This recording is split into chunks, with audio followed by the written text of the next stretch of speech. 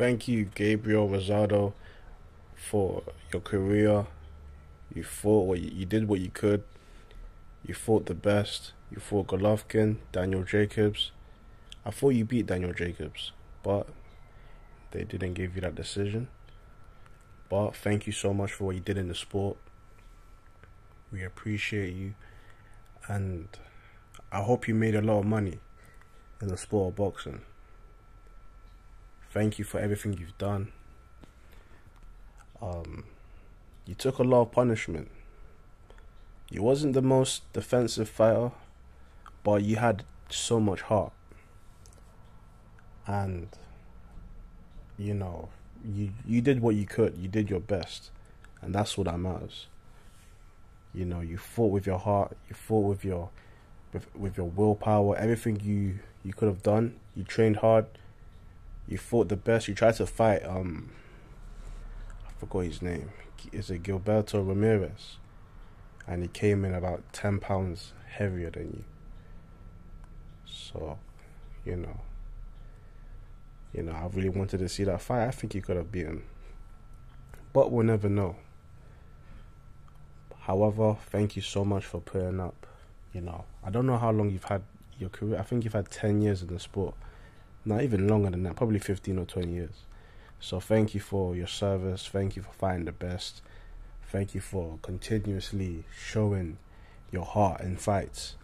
You know, I've never, I, have every um, Gabe Rosado fight I've seen, he's always bleeding. He's always somehow, somehow he has to just, you know, he always has to dig deep and find find something within himself to, you know, to keep fighting and that's what um, he is a representative of what um, fighters should do. You know, the heart is the heart is still important. A lot of guys um, stick behind the jab, not don't want to take risk. You know, don't want to get busy. But sometimes when a fight is just better than you, the only thing you can do is to slug it out and have a go.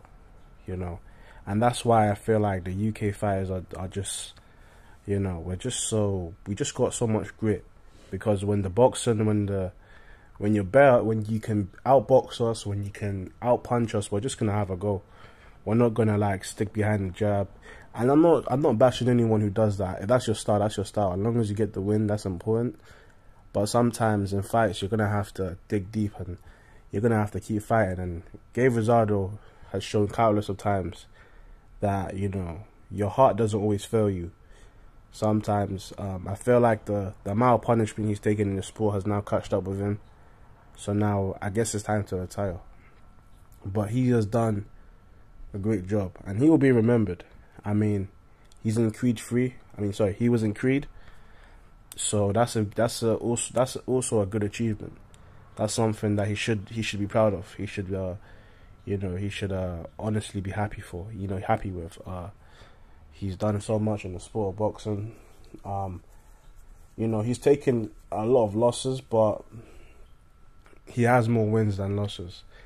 And, you know, his losses don't really define him.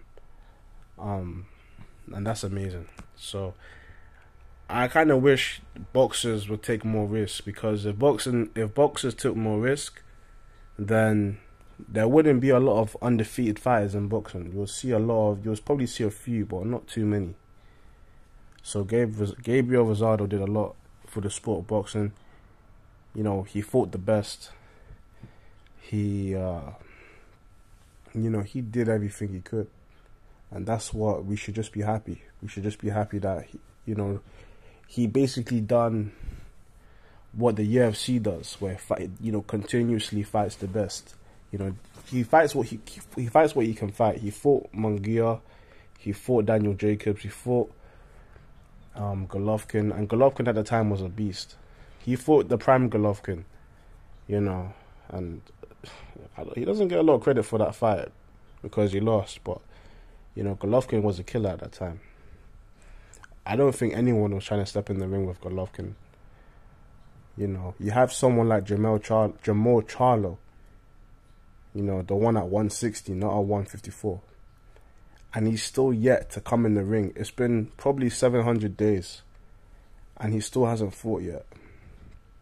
it will almost be two years since he's had a fight, and he's still holding on to the strap. That's crazy to me. But Gabe Rosado, thank you for everything you've done.